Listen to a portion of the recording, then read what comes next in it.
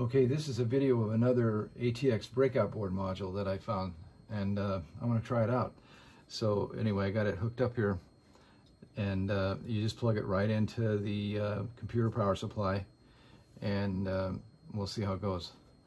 Okay, so here is the cord for the computer power supply. So I'm going to plug it in and see what happens.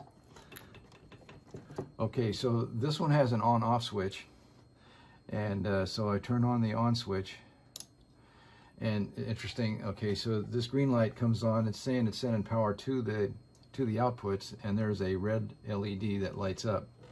Now this is an interesting one because it's got all of the uh, voltage rails on one side of the board. That's really convenient. And then for each rail it's got a separate fuse. So we got uh, 3 volts that's 3.3 volts then we got 5 volts, then we got uh, 12 volts, and then uh, after that we've we've got uh, a negative 12 volts. So um, I don't think anybody's ever going to use a negative 12 volts, but anyway, the main voltage is 3.3, 5 volt, and 12 volt. So I got it hooked up to the 5 volt rail.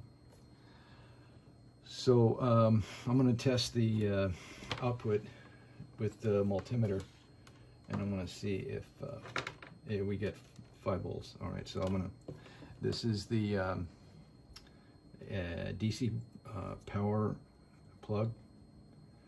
And then uh, I got the uh, positive going on the center post and I got the negative going on the, uh, the metal on the outer part. Okay, so let's see what we got.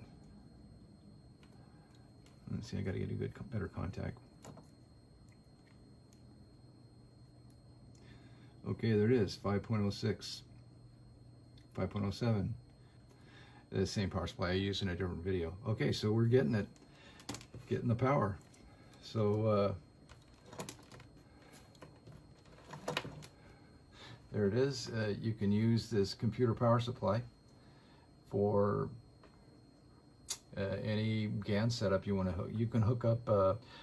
The idea with the using a computer power supply is it's got so much power you can drive every one of your um, GANS jobs from one single location. You just uh, distribute this to, to the different batches.